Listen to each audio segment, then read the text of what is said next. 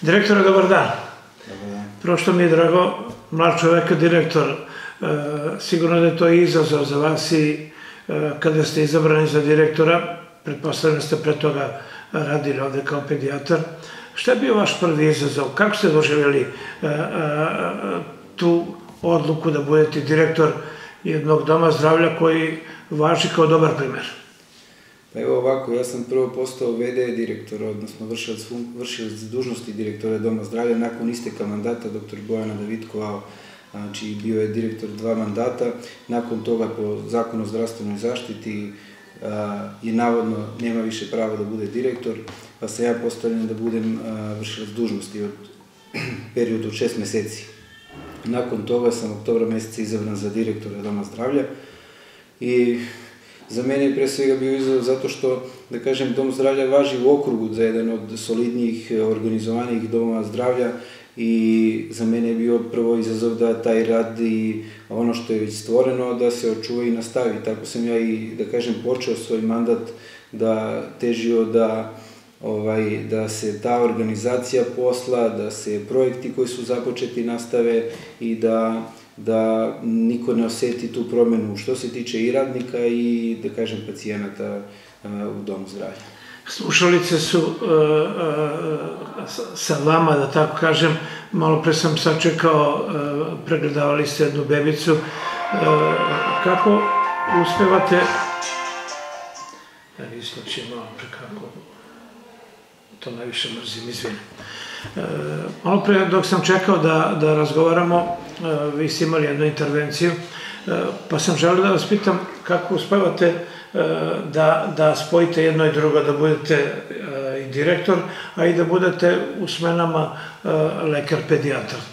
Pa ja sam trenutno jedini pedijatar u Domu zdravlja u Dimitrovgradu, jedna koleginica je na specializaciji, očekujemo da se za nekih šest, meseca, šest meseci vrati sa specializacije, tako da, da kažem, dok je taj vakum stvoren, ja i dalje obavljam svoje dužnosti na odeljenju pedijatrije, tu sam pre toga bio načelnik odeljenja, sad i dalje radim u savjetovalištu za novorođenčad, a takođe i na odeljenju za prečkolsku decu, a sada je i koleginica na odmoru, tako da radim a, sve na pedijatriji. Ima vas svuda. Ima vas svuda. E, vratit ću vas na početak. Dosta projekata je do sada urađeno. E, imali ste onu energetsku efikasnost i tako dalje. Šta još od projekata što je omogućio kvalitetniji rad i kako gledate napred kada su u pitanju eventualno neki e, novi projekti? Tačnije, šta bi vam još bilo potrebno? Pa što se tiče energetske efikasnosti, znači prilikom preuzimanja dužnosti, a, bio je u toku projekat oko zamene kotlova koji su bili znači, na tvrdo, čvrst, na čvrsto gorivo, pa smo zamenili i ovaj, trenutno imamo a, grejanje na pelet. Znači mi smo tu taj projekat priveli kraju, a, investitor je bila opština i Ministarstvo za energetiku, odnosno Fond za energetsku efikasnost, To smo sproveli do kraja godine i ove godine smo imali izuzetno kvalitetno grejanje što se tiče tog projekta.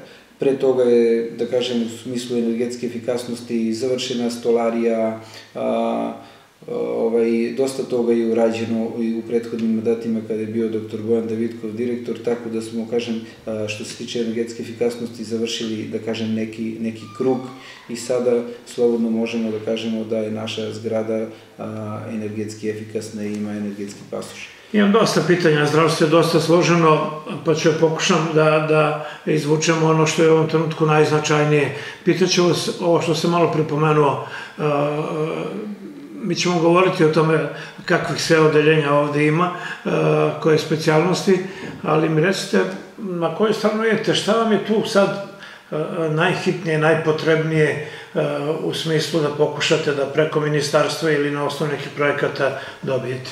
Pa znate kako, mi uvek u zdravstvu uvek je potrebno i što se tiče opreme i vozila, naravno i kadrova. A, ja ne mogu da se poželim da nama nešto trenutno manjka, da, nam, da, da nas ometa u radu ili da nam remeti organizacijonu strukturu. Međutim, a, iako je starostna struktura stanovništva, da kažem, takva i in, inače je stanovništvo, da kažem, u opadanju, sve manje je stanovnika, ali posao je sve više.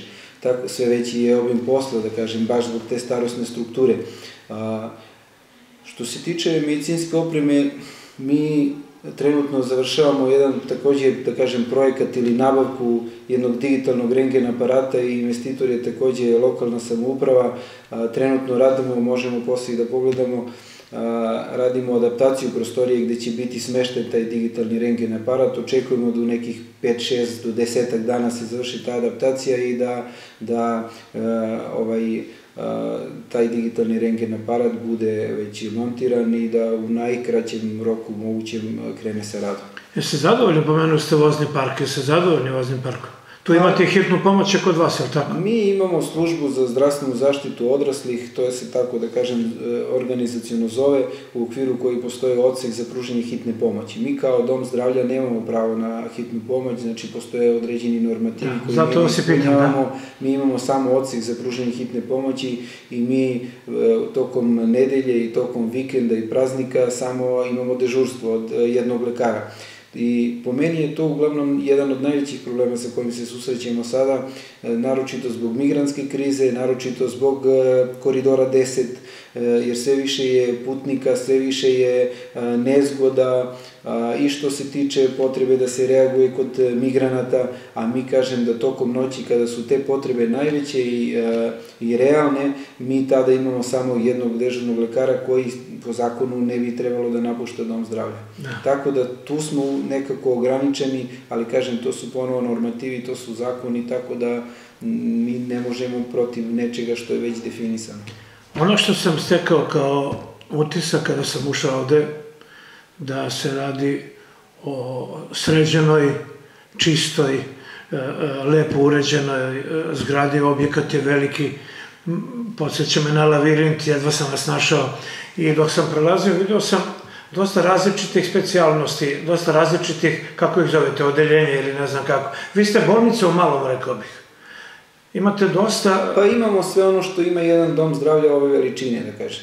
Možda se samo tamo, tako čini. Mi imamo službu za zdravstvenu od, zaštitu odraslih, to je takozvana opšta praksa sa odeljenjima kućne nege i a, odsekom za pruženje hitne pomoći.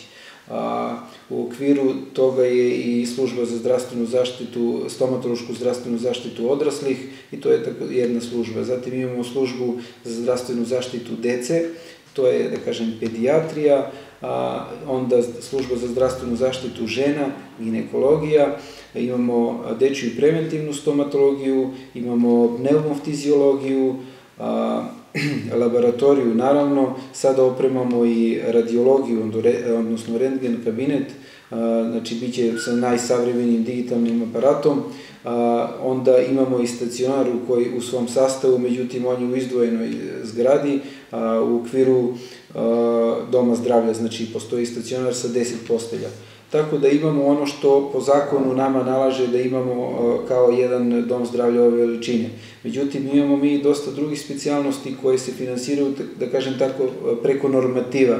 To su, da kažem, ovaj, oftalmolog, onda neuropsihijatar, hirurg, fizijatar, to su neke stvari koje, da kažem, nama kao takvom domu zdravlja ne sleduju, ali mi imamo u budžetu lokalne samouprave predviđeno, da kažem, sredstva za, za te specijaliste takozvane koje ne sleduju pa ih se finansiraju iz budžeta lokalne samouprave. E, dok smo razgovarali, veoma često ste pominjali lokalnu samoupravu koja ima određene ingerencije e, nad domom zdravlja, e, jedino zarade obezbeđuje ministarstvo, jer tako. Tako da, očigledno da je lokalna samouprava da sada dosta toga uložila u dom zdravlja.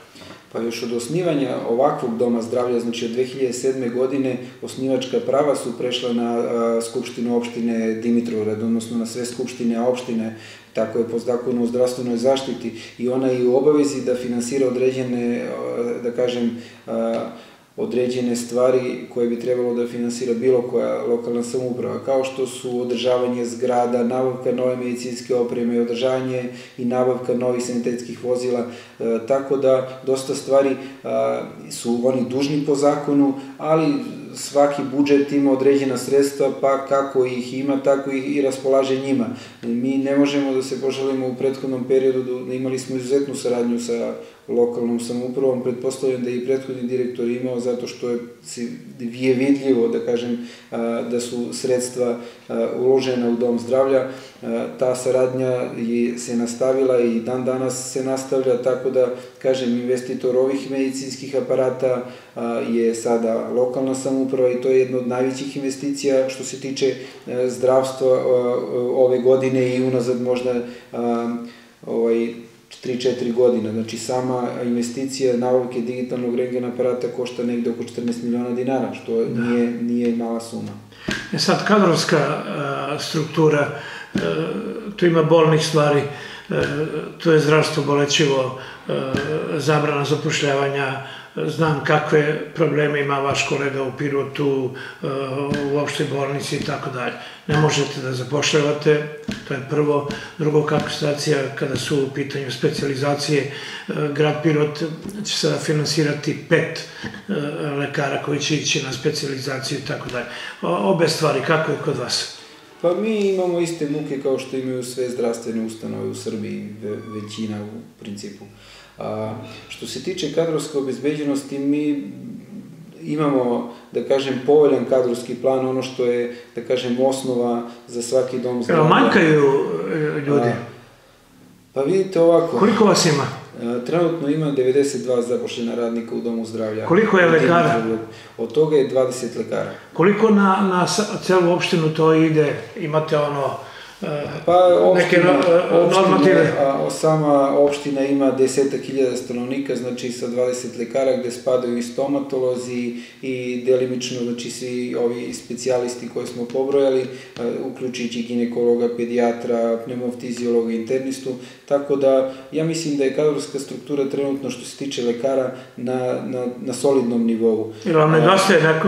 Ja tražite zapošljavanje? Mi smo, mi smo, znači, prošle godine kada sam ja stupio na dužnost tražili tražili, tražili izmenu kadrovskog plana s obzirom da je bilo nešto prethodnih godina dom zdravlja uskrećen za određene stvari. Ja sam tražio izmenu kadrovskog plana i nekako smo se izborili za tu izmenu. Mi smo možda u desetak domova zdravlja u Srbiji koji su dobili kadrovski plan za 2015. godinu. Mm -hmm. Mi smo po tom kadrovskom planu i dobili a, dva lekara više, tako da smo i dobili saglasnost na osnovu, ponovo kažem, tog kadrovskog plana saglasnost vladine komisije za, za zapošlj, novo zapošljavanje dva lekara i no, tokom a, početka, u stvari, ove godine smo zaposlili nova dva lekara. A, U međuvremenu smo dobili saglasnost za jednog vozača sanitetskog vozila i stomatološku sestru, jer tu smo bili, da kažem, uskraćeni, tako da, da smo sad neka udarna mesta i nešto što je bilo, da kažem, hitno pokrili i sada da funkcionišemo bez, bez problema. Što se tiče specializacija? Što se tiče specializacije, mi trenutno Imamo na specializaciji iz pedijatrije jednu koleginicu, imamo iz ginekologije na specializaciji, što znači imamo dva lekara na specializaciji. Jeste zadovoljni time? I to je neki tempo koji se godinama prati, odnosno to je nešto što ne ugrožava rad ostalih službi u domu zdravlja i verujem da će da se taj trend i nastavi u narednom periodu. Kakva je organizacija rada? Ovde ne vidim da, da ljudi čekaju, funkcioniše sve dosta ne, dobro. Mi na pedijatriji konkretno niti zakazujemo, niti a, ovaj, vraćamo pacijente. Sad ovaj novi način? A, ovako radimo, znači, od kako sam ja ovde, radimo svi koji dođu budu primljeni u nekih desetak, 15, 20 minuta najkasnije, znači budu primljeni, sagledani i i vraćeni zadovoljni ili nezadovoljni.